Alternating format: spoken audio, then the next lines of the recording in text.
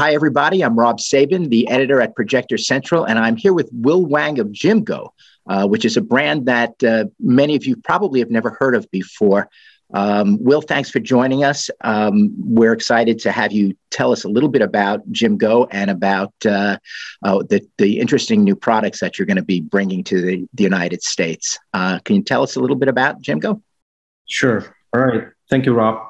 Uh, hey everyone, my name is Will. I'm the Chief Product Officer from JMGO. So a little bit of introduction on JMGO. Um, uh, JMGO specializes in R&D and production of the smart projector and also laser TVs.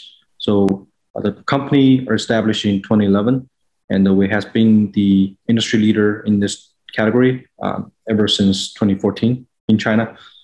So uh, as a brand, we see a great opportunity in the stay-at-home uh, economy ever since we started the company.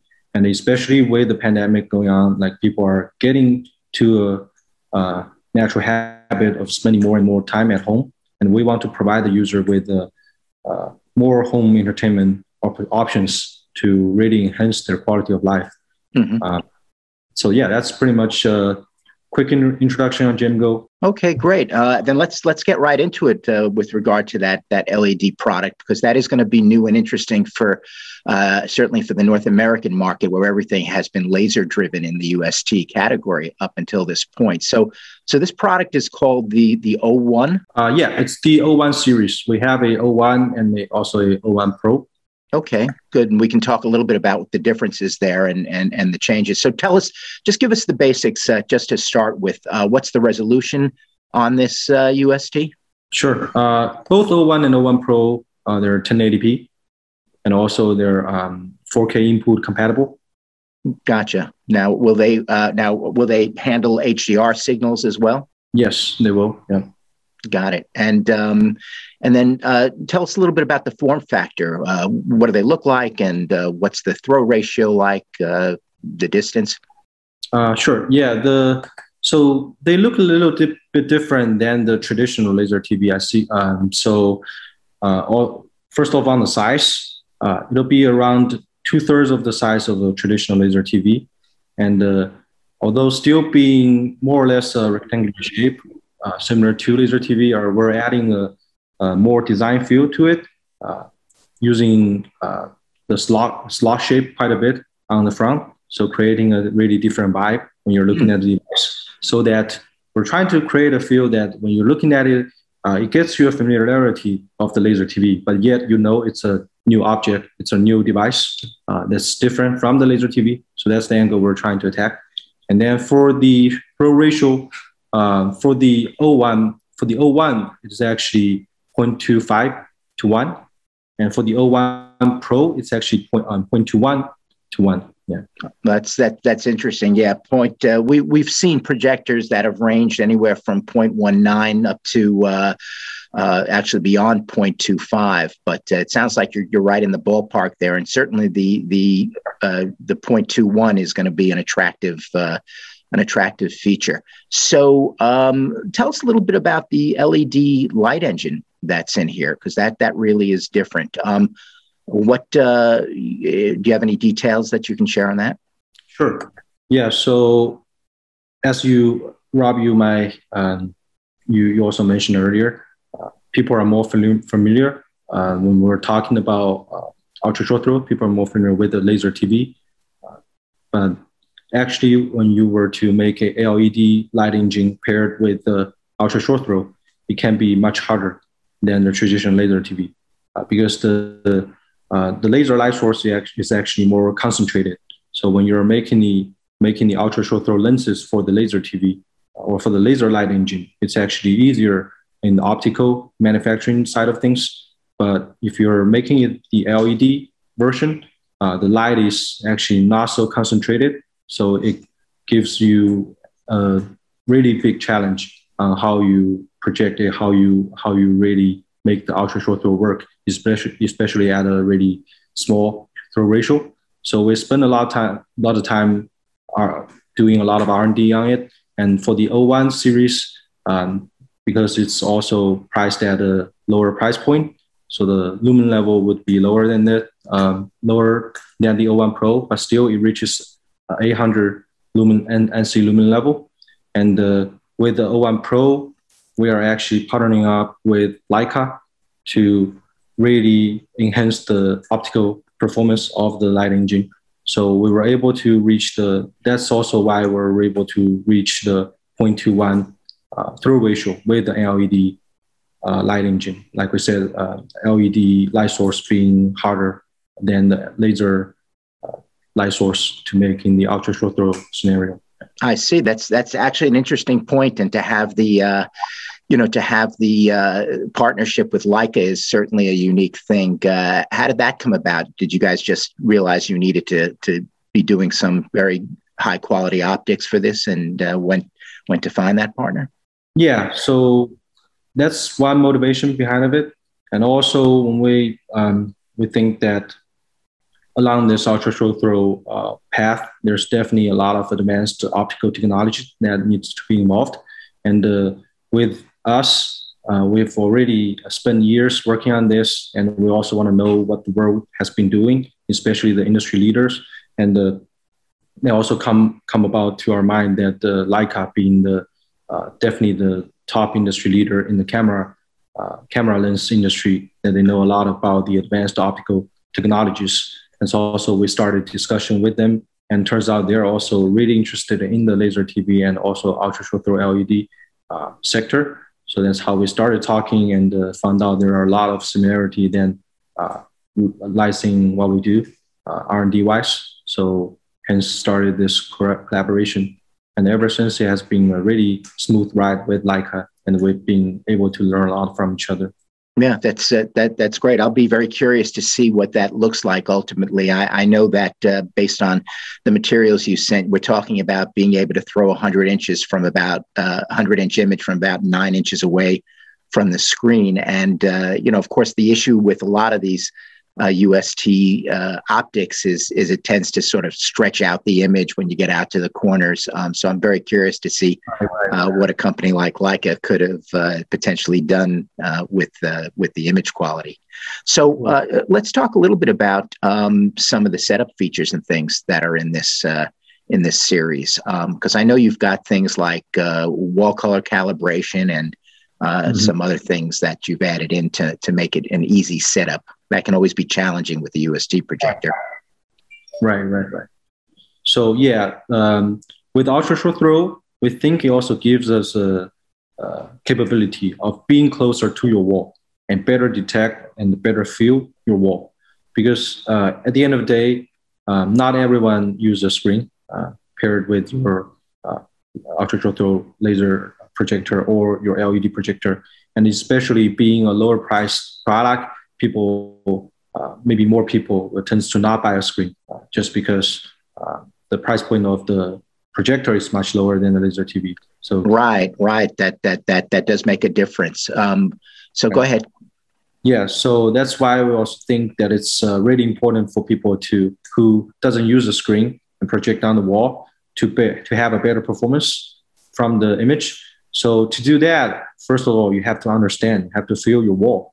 Uh, that's also we added a lot of algorithm in there, a lot of sensor in there, try to detect the color of your wall, and that's what you mentioned, the color calibration um, on the wall color, so that we know uh, what the color temperature or the color performance is on your wall, and then we adjust smartly adjust our color accordingly, so that when people are looking at your uh, at, at the picture is still it's giving out an accurate color.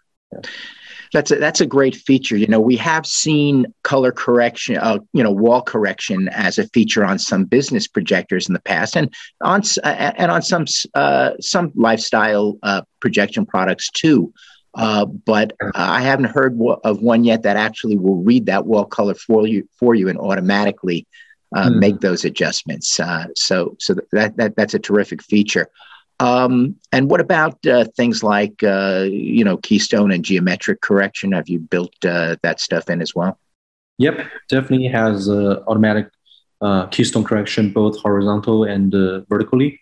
Um, and it's interesting that you brought it up because ultra short throw, um, like when we're making it, we actually know that it requires less keystone correction compared to the long throw scenario. Uh, because for the long throw, unless you're mounting it on your ceiling, most of people are actually placing uh, side to their sofa or uh, side to their bed. So most of the time, you need to use the keystone correction at a pretty significant angle, which causes a great loss on the picture quality. And with this ultra short throw device, you can also place it right uh, right in front of you and in the middle of this uh, in the middle of your wall.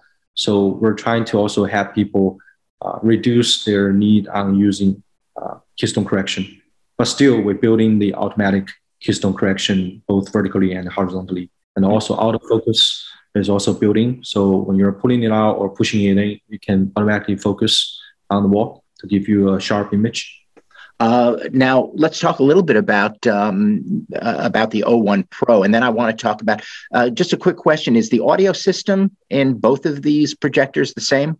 Uh, so the both systems has the Dynaudio collaboration, uh, but uh, O1 Pro will have a slightly bigger um, power on the speaker.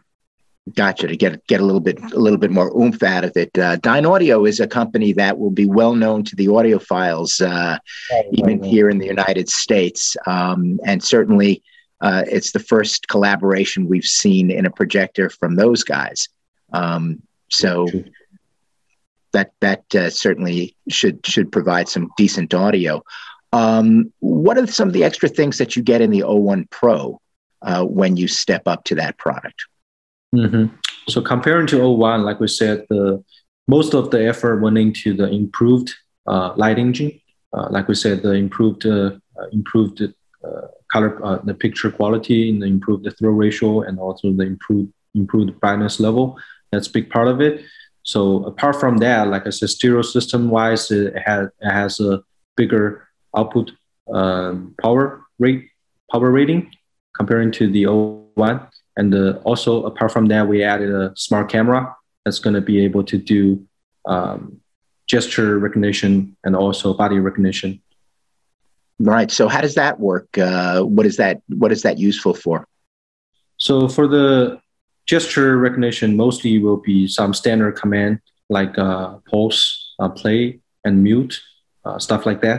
And for the body, uh, for the body uh, recognition, we are thinking about uh, pairing up with some uh, at-home exercise app or some fitting app, uh, so you can do a lot of at-home exercise uh, using that camera, using that ah, capability. That's interesting. Okay, uh, and and have the uh, have the projector react to your your your motion. yeah, yeah, of course. Mm-hmm. So we'll have some contents that's going to be reactive to your motion, and they will be motion controlled. So that's something that we've been working on. So once we release all the product, all these contents will be updated constantly. So we'll, uh, so users will constantly start to find the stuff being added to their device uh, little by little. Yeah. One of the things that I noticed in reading about the products is that you've you've sort of integrated your own uh, uh user interface there. It's called the Luna OS. Can you tell us something about that? So in general, we, just introduced that the Luna OS will have two modes. One is the uh, classic mode, and one is the uh, companion mode. So for the classic mode, it will be something that's familiar with the normal user uh, that serves as the function of your normal TV stick that gives you gives you the operating system for the uh, contents there for you to watch. Mm-hmm. But for the companion mode, it's more for a, a passive using scenario. Uh, where it has uh, we have uh, at launch we have uh, three or four uh, actually have three most important functions. One is the music visualizer, and the ah. second the weather dashboard, and third one is the message board. So for the music visualizer, when you're playing sound with your speakers, you will actually have like different animations and lyrics bouncing off your wall, and really blended in into your wall. Uh, and the I think with that will really give a user really vivid uh, audio experience uh, when you're feeling the music and seeing the lyrics uh, coming out of your wall. Sounds sounds interesting. Um, let's let's uh, move on and talk a little bit about the um, about the U2. Right, this is this is uh, a laser TV product. Uh, as well, but it looks like it looks like it is a an extremely sophisticated high end piece. Yeah, so U2 will be targeting at a more of a high end market uh, with people really uh, looking for vivid color performance and also the best in industry picture quality. So yeah, U2 uh, U2 will definitely be uh, catered to those customers. Well, let's talk a little bit about the light engine in there, because uh, from what I can see from your materials, it's it's a it's a uh, dedicated three RGB laser system, right? And that brings some interesting benefits with it. Yep, it's uh, also the first uh, multicolor, three-color uh, laser light engine that we've ever made uh, on a laser TV system. So yeah, the biggest part that we need to talk about is different, definitely the color gamut. So uh, as the viewer uh, of the channel might know about the color gamut standard, the normal standards we use are pretty much three standards ranging from high to low. Uh, there are BT 2020, DCI-P3, and the BT uh, 709. Right. And this, yeah, and this light engine reaches BT 2020, and also we're actually at 140%, 114% of BT 2020, which is going to cover uh, like most of the color gamut that your naked eye can see. Yeah. Well, well, that's uh, that's pretty impressive, actually, and it, it, it not only covers so most of the content these days we know is being produced to the DCI P3 gamut, but uh, as time goes on, we're going to get more and more content that actually uh, reaches out into the BT 2020 gamut. So this projector would be future proof in that sense. Yeah, exactly. And that's also what we're looking for because people are paying that much of price. We wanted to guarantee that they have the best out there in market and also they can rest assured that the product can be there for years for them to use and not be outdated. Absolutely. That's always a danger. Um, now, tell me a little bit about some of the smart features in, uh, in the U2. So yeah, the U2, we will also have our standard, uh, our classic mode of system. So it has all the contents that you need and uh, also it's a smart OS enabled product. And uh, apart from that, we're spending a lot of time on the audio quality uh, of this U2 and because it's also partner up with uh, Dynaudio. Uh, and uh, being a laser TV has actually a larger room for the larger speakers and the larger sound system inside of it. So we spend a lot of time developing the sound system and also fine tune it with the Dynaudio. So this uh, U2 not only has the best color range out there out there on the market, it has this smart OS that enables you to have uh, accessibility to all the different contents around the world, and also it has this best-in-class audio system that's gonna really blow you away. Yeah. Well, Will, thank you so much for the time spent today uh, talking about these products. Uh, we're going to look forward to seeing them reach the U.S. market, and uh, and uh, we wish you guys luck here in the states. Sure. All right. Thank you, Rob. Thank you. Thanks for joining us for Projection Expo. Okay. Thank you for having me. Bye.